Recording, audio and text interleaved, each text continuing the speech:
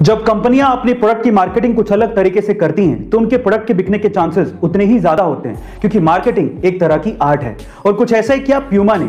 जब 1970 के football world cup में प्यूमा ने पेले को, जो कि फुटबॉल के महानतम खिलाड़ियों में से एक हैं, उन्हें ग्राउंड पे सिर्फ़ अपने जूतों के लेसेस बांधने के लिए एक लाख बीस हज़ार डॉलर दिए, जो कि आज के लगभग सात करोड़ रुपए होते हैं। गाइस क्योंकि प्यूमा ये स्टार खिलाड़ी पेले जब अपने जूतों के लेसेस ग्राउंड पे बांधेंगे तो सारी दुनिया की नज़र उनके जूतों पर ज़रूर जाएगी, और जब स्टार लोग खरीदते हैं, और वो प्रोडक्ट अपने आप सुर्खियों में आ ही जाता है। इंग्लिश में से बहुत से वर्ड्स हैं, जिनके बारे में हमें अच्छे से पता नहीं होता। इसी वजह से हम उन्हें गलत तरीके से इस्तेमाल करते हैं। उन्हीं में से दो वर्ड्स हैं पॉइजनस एंड वेनमस गाइस मान लीजिए कि आपने कोई ऐसी चीज़ खाई है या फिर ऐसा कोई एनिमल खाया है जो कि जहरीला है। इन दैट केस वो चीज़ या फिर वो एनिमल आपके लिए है पॉइजनस लेकिन अगर कोई एनिमल आपको बाइट करे या खाए और उसकी वजह से आपकी मौत हो जाए इन दैट केस वो आपके लिए पॉइजनस नहीं है। वो आपके लिए है वेनेमस जैसे कि स्नेक आपके लिए है वेनेमस क्या इसके पहले तक इफ़ेक्ट आपको पता था? डुबाम इस कंपनी को सन 1910 में झंडू भट्ट जी ने शुरू किया था, जिसे सन 2008 में इमामी कंपनी ने खरीद लिया था। लेकिन इसकी असली किस्मत पलटी सन 2010 में, जब सलमान खान की मूवी दबंग रिलीज़ हुई।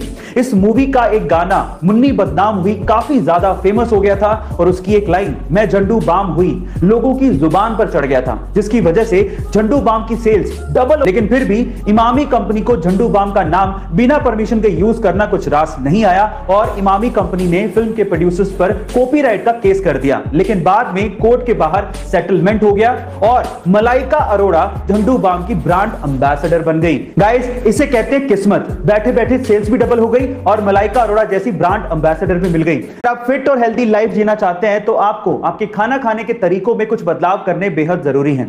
उसमें से सबसे पहला बदलाव है, आपको ठंडा खाना खाने की आदत छोड़नी पड़ेगी। बहुत से ऐसे लोग हैं जो कि खाने को भी ठंडा करके खाते हैं, पता नहीं क्यों।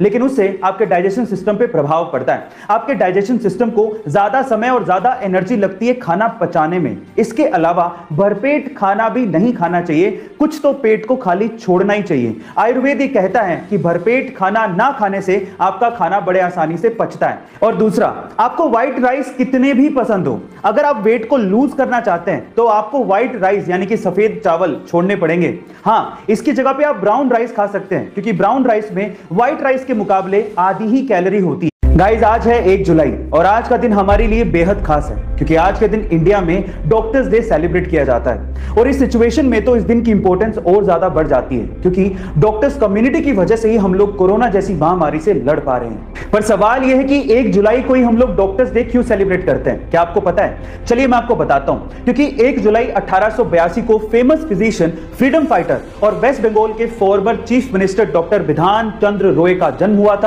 और 1 जुलाई उन्नीस सौ बासठ को ही उनकी मृत्यु हुई थी। इसी वजह से 1 जुलाई को हम लोग डॉक्टर्स डे सेलिब्रेट करते हैं। डॉक्टर बीसी रॉय की इंडिया में बहुत सारे hospitals Medical Council of India and Indian Medical Association बनाने में मुख्य भूमिका रही थी और उनके इन्हीं कार्यों की वजह से 1961 में उन्हें भारत का सर्वोच्च सम्मान भारत रत्न दिया गया था।